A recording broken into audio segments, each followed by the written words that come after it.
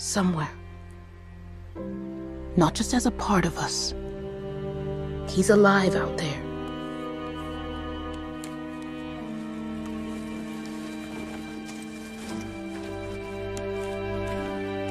I will find him.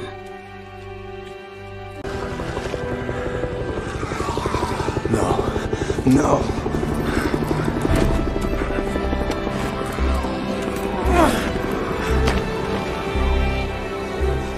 tiny rocks you've been located and are instructed to surrender. Remain in place with your hands up.